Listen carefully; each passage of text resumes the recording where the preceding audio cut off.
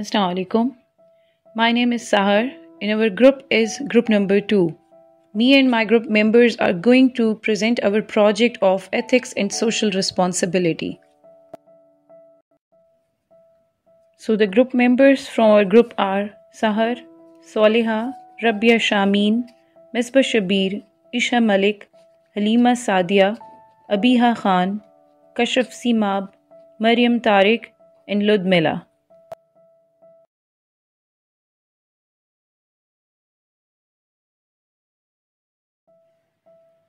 For this project, we were asked to choose an ethical dilemma and present over its two different courses of action. So, what is an ethical dilemma? Dilemma means a problem where a choice or decision has to be made. To have you more than one choices might put you in dilemma. Ethical dilemma is a situation in which a difficult choice has to be made between two courses of action or two moral imperatives neither of which is unambiguously acceptable or preferable.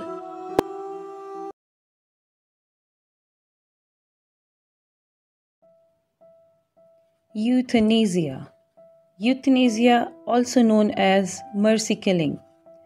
Euthanasia is an act or practice of painlessly putting to death a person suffering from painful, incurable disease or incapacitating physical disorder Euthanasia allows them to die by withholding treatment or to withdraw artificial life support measures.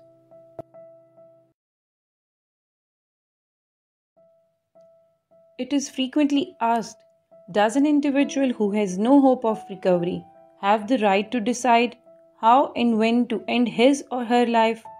My group members will now talk about why euthanasia should be allowed or why euthanasia should be forbidden. What is the legal position of euthanasia? What does the religious or the cultural ethic has to say about euthanasia? Then in the perspective of different ethical theories, what is the standing of euthanasia? And then we will conclude our presentation.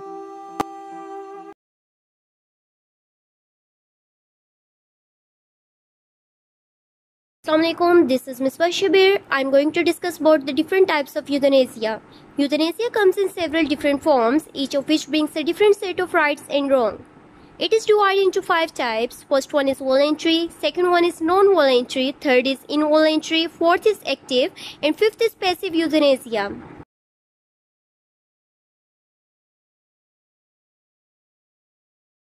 So, let's start with voluntary euthanasia.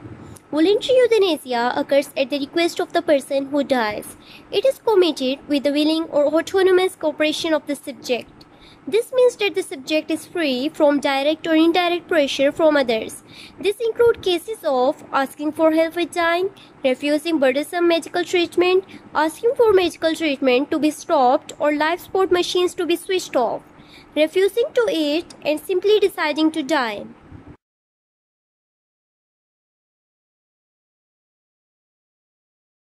Now I will discuss about the involuntary euthanasia. Involuntary euthanasia occurs when the person who dies chooses life and is killed anyway. This is usually called murder, but it is possible to imagine cases where the killing would count as being for the benefit of the person who dies. Consider the following example. A soldier has their stomach blown open by a shell burst. They are in great pain and screaming in agony. They beg the army doctor to save their life. The doctor knows that they will die in 10 minutes whatever happens. As he has no pain-killing drug with him, he decides to spare the soldier further pain and shoots them dead. Here comes the non-voluntary euthanasia. Non-voluntary euthanasia occurs when the person is unconscious or otherwise unable, for example, a very young baby or a person of extremely low intelligence, to make a meaningful choice between living and dying. And an appropriate person takes the decision on their behalf. Non-voluntary euthanasia also include cases where the person is a child who is mentally and emotionally able to take the decision but is not regarded in law as old enough to take such a decision. So someone else must take it on their behalf in the eyes of the law. This include cases the person is in a coma, The person is too young, for example, a very young baby. The person is senile. The person is mentally retarded to a very severe extent. The person is severely brain damaged. The person is mentally disturbed in such a way that they should be protected from themselves. Now I will let you know about active euthanasia. In active euthanasia, a person directly and deliberately causes patient's death. Active euthanasia is when death is brought by an act. For example, when a person is killed by being given an overdose of painkillers. Here comes its last type that is passive euthanasia. Passive euthanasia is when death is brought about by an omission. For example, when someone lets a person die. This can be withdrawing treatment, for example, switching off a machine that is keeping a person alive so that they can die of their disease. Or withholding treatment, for example, not carrying out surgery that will extend life for a short time.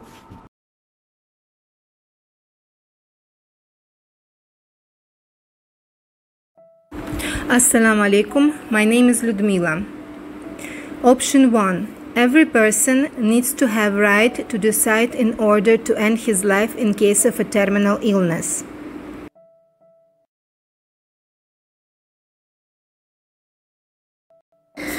Argument in favor. Additional cost of medicines. By keeping a terminally ill person alive with the help of expensive medications and medical equipment, the money spent on it are wasted. That money and resources can be used to treat people who don't have very ha- bad prognosis and can be directed on research for new meds and cures for terminal diseases that in future these diseases will no more be terminal.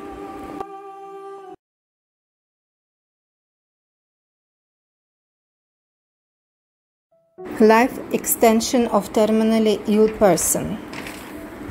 Modern medicines has become so advanced at keeping the terminally ill alive by treating the complications of underlying diseases that inevitable process of dying has become much harder and is often prolonged unnecessarily. Without any artificial life support of dying person who suffers from pain or great discomfort, his torment can be ended prematurely. If there is no cure, no any hope left, then what for to prolong life of a patient? And all these procedures comes at a cost too. Billions of dollars are spent to prolong life of such patients.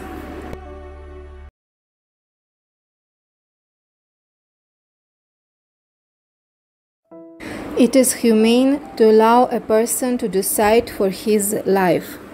Most important is to take into consideration through what terminally ill person or his loved ones are going. Not everyone have strong nature to endure pain and sufferings which most such patients have. Healthy and happy person will never ask to die prematurely. It means that person who asks for euthanasia have enough strong arguments for such serious decision.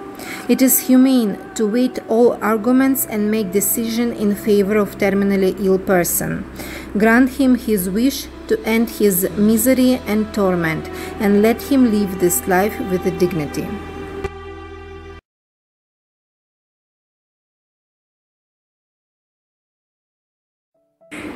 Getting rid of the moral torment. We need to take in consideration psychological aspect of waiting for inevitable and painful death too. For example, people who suffer from amyotrophic lateral sclerosis fated to observe slow degradation of their body. This disease do not affect brain function. Till last moment, these people understand everything what happens to them. They mostly die from suffocation when muscles of their lungs are not able to work any longer. These people have full right to decide to do they want to go through these sufferings or end it prematurely. I am Isha Malik. Every person need to have a right to decide whether to end his or her life prematurely in the case of terminal illness. I am going to give the arguments against option 1. Point 1 is life is priceless in any of its manifestation. Even if a person experiences pain and torment, it is one of the stages of being. Everything in this world has its own purpose. Nothing is useless, even to an ant life is important. The most precious asset of a person is his life. No one has right to decide someone else's life. Taking someone else's life in such a way is equals to murder. Life is priceless. No one can return one's life even a person is in a pain. You want to live a healthy life and always hopeful. No one has right to decide the fate of someone else's life. It's a person's own choice to live or not.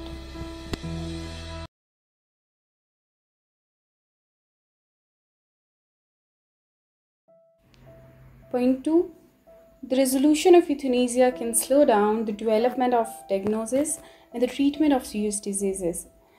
Even if the progress is slow, euthanasia is not a solution. No matter slow or fast, progress is progress. Even if a person is slowly recovering, there is much to discover about their disease. It's possible that complete discovery of disease may help finding the cure of the disease treatment so, euthanasia is not a solution for such problem, but hope and recovery is.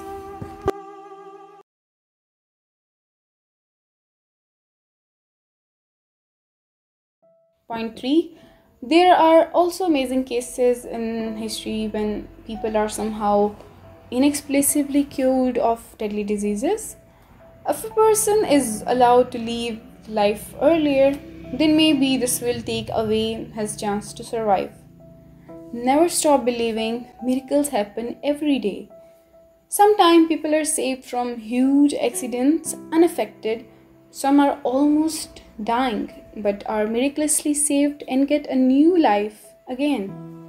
Some are on ventilator for months and for years but there and there is no chance of recovery but they survive because of miracles miracle happen to miracle can happen to anyone, we should not lose hope. Hopelessness is a serious problem in this regard.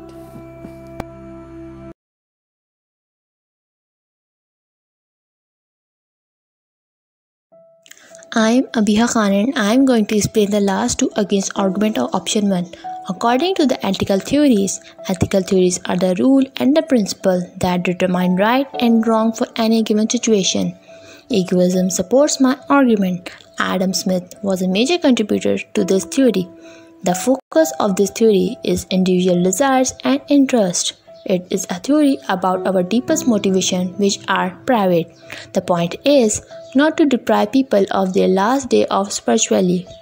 It is mean that everyone has a chance to grow spiritually, standing on the edge of that, and it is wrong to take away him from his opportunity.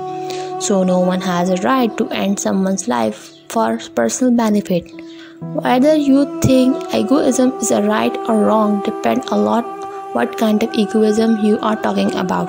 The two main kinds of egoism are quite different. Descriptive egoism just claims that human beings do always act for their benefit, while normative egoism claims that we should always act for our benefit.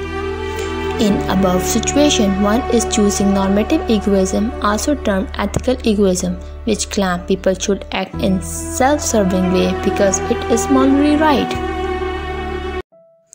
In the second point, active euthanasia, which means when the patient injects himself and medication and commits suicide, it comes under the heading of descriptive egoism, which goes that the people always act in a self-serving way through they may try to fulfill their motives. It is not allowed in any case, but one should involve the doctor in this action. Almost everyone will act against their short term and self interest in order to obtain a great long term self interest.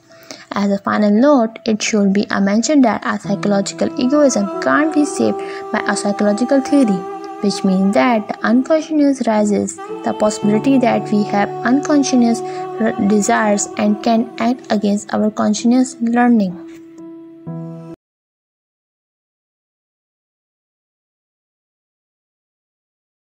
I am Mariam Tariq and I am here to discuss about option 2 which is uh, legalizing euthanasia can lead to its criminal use against elderly and sick people to get rid of caring for them and uh, take possession of their property. Many people worry that if voluntary euthanasia were to become legal, it would not be long before involuntary euthanasia would start to happen. This is called a slippery slope argument. In general, it says that uh, if we allow something relatively harmless today, we may start a trend that results in something currently unthinkable becoming accepted. Medical decision makers already face difficult moral dilemmas in choosing between competing demands for their limited funds. So, making euthanasia legal could increase the severity of slippery slope, pushing people towards euthanasia who may not otherwise choose it.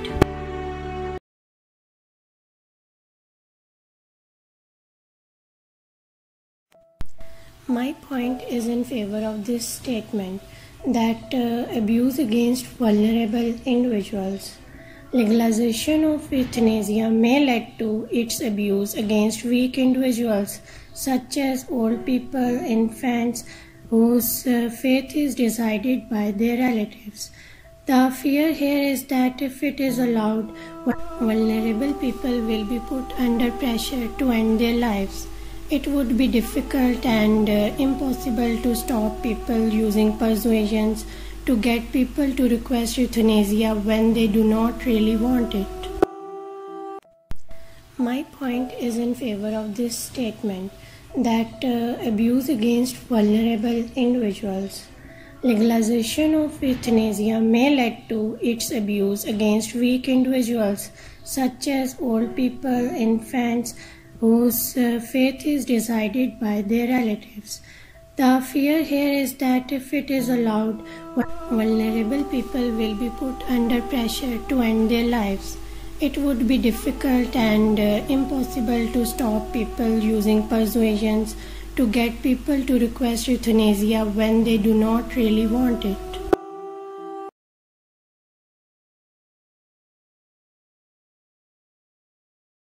And second point is also in favor of this statement, which is psychological pressure on weak.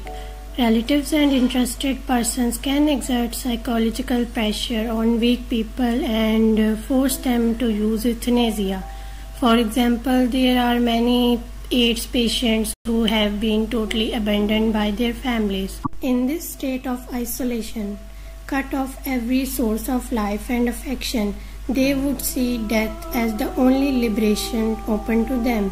In this situation, even very subtle pressure could bring people to request immediate painless death when they want is close and powerful support and love.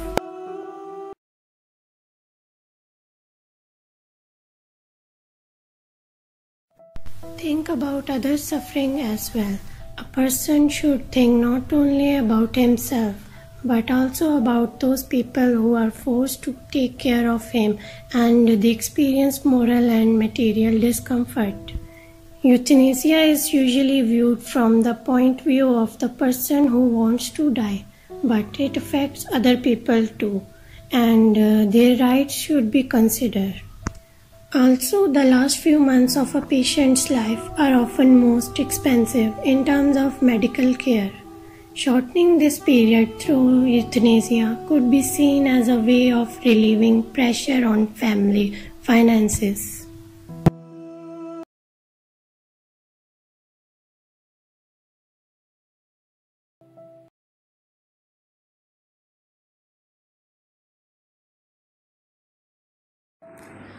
The world of insurance involves complex and thorny ethical decisions as professionals in the field non insurance ethics.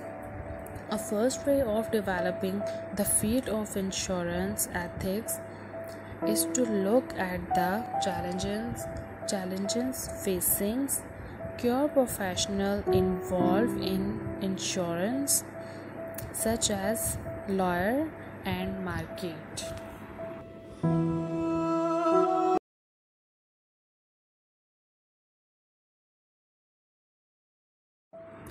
Major cases of death in mothers and children could be prevented or treated with access to simple and affordable medicines.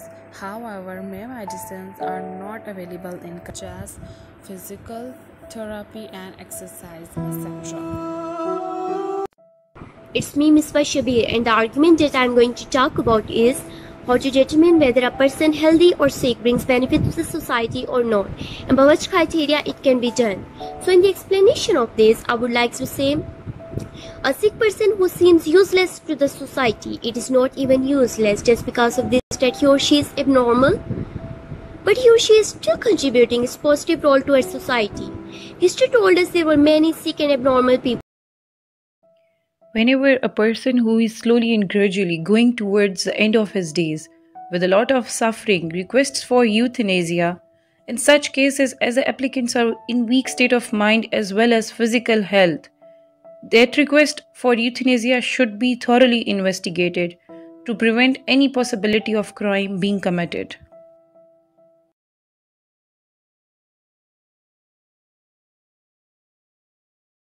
Hello, this is Kashaf Sima and my ID is 31272. The contribution that I will make in my part in this presentation are the two points that is loss of confidence in public sec- health sector and the role of psychoanalyst and euthanasia. The first point that is loss of confidence in public health sector legalization of euthanasia can lead not only to the criminalization of medicine but also to the loss of public confidence in the institute of healthcare as a matter of fact, physician and uh, doctors are the healer of our soul. So when they take uh, euthanasia beyond their fundamental role of caring, healing, uh, and uh, curing whenever possible, it involves them, no matter how compassionate their motive, in the infliction of death on those for whom they provide care and treatment. So physicians nurses and our future medical students who are the healer of our soul need to restore confidence of the general public in their patients also.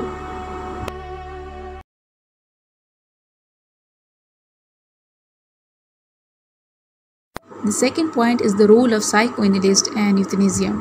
If a person is fully conscious and makes a decision about euthanasia in order to prevent cases of psychological influence and his decision by others, a thorough conclusion of the psychoanal- psychoanalyst about the decision should be conducted.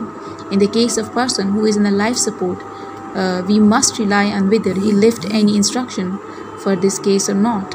So um, it is the job of a psychoanalyst to see the documents and the instruction left by the um, person uh, who is in a who, who is in a deathbed to see whether he is he is in a position that he has left any document uh, of his um, to put him on the on the medicine of euthanasia or not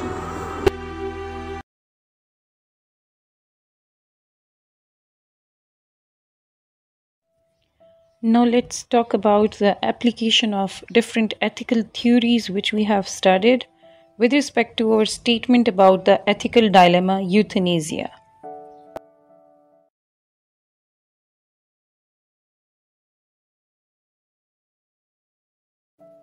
This is Rabia, and now I will talk about the controversy regarding the practice of euthanasia. It is essentially a controversy about ethics. The debate about euthanasia is a value debate among people who weigh values differently, who see the nature of the world and the place of human in that world differently. One way of examining values and ethics to see if they are worthwhile is through the use of normative ethical theories. There are several normative ethical theories that have been proposed by the philosophers.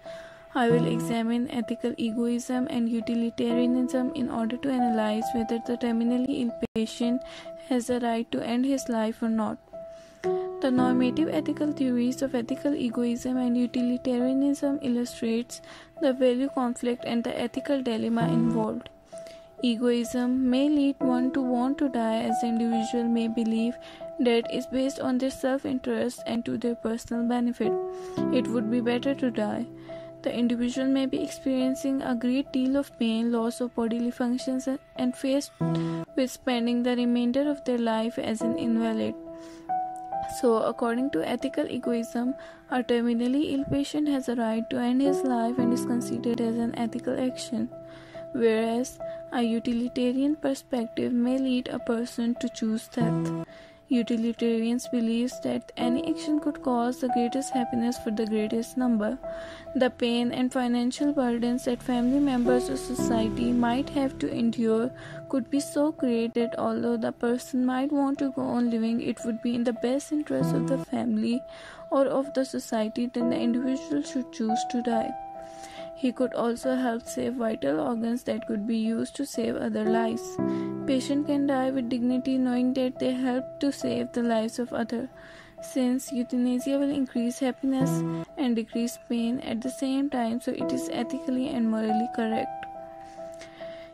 Virtue ethics in the case of terminally ill patient, a virtuous person might support the continuation or implementation of treatment to prolong the lives of the patient. However, hmm. a question is raised here. Are there any circumstances under which a virtuous agent should decide that euthanasia is preferable to ending someone's life? And the answer should be yes. In some cases, the virtues of mercy and compassion would be deemed most critically, and it would be considered virtuous to euthanize a patient in order to relieve them of their suffering because it is a very noble act for someone to take their own life when they are terminally ill and are no longer productive.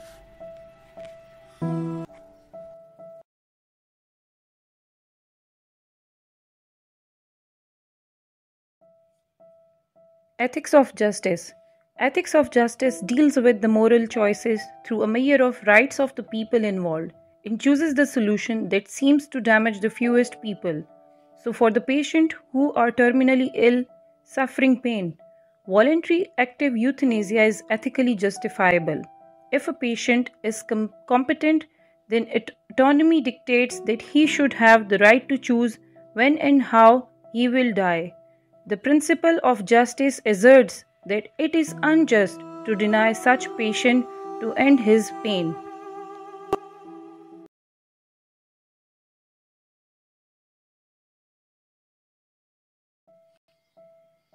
Theory of Right As the theory of right states that every living being has certain rights, and we have studied rights of one person are the duties of another.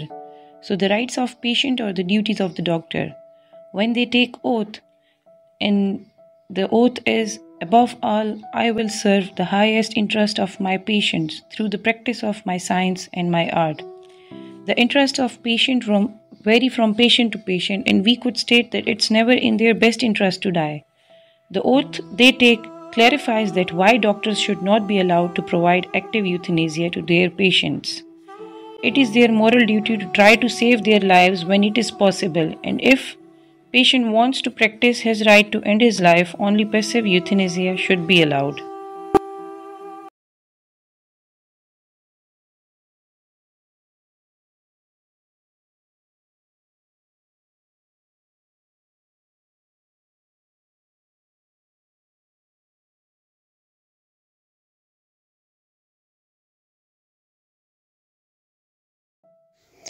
I am Halima and I am going to conclude this presentation.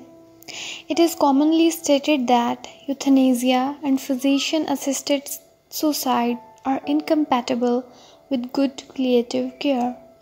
The European Association for Palliative Care has, for instance, communicated the position that euthanasia and physician assisted suicide